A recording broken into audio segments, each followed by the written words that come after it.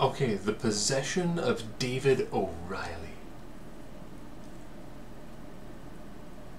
I liked the direction this film was going, but I didn't really feel like I cared that much for the people involved. So you have a young couple, and then one of their friends show up. He believes he's being attacked and chased by demons that only come out at night and only that really he can see. The wife, of course, is like, I think your friend is crazy. He needs to get out of the house. And his buddy's like, no, man, he's cool. You know, this just sort of just happened all of a sudden.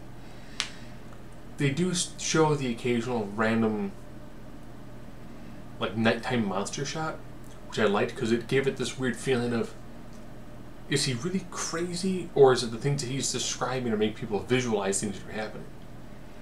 I like that it walked that, that fine line if this would have had some slightly better actors to it, maybe. There's a lot of good stuff there. It just doesn't seem to really fully 100% click and, and gel together. But I'm glad that it left enough open interpretation in the film to kind of like, oh, no, he's actually crazy, or maybe he actually has seen something.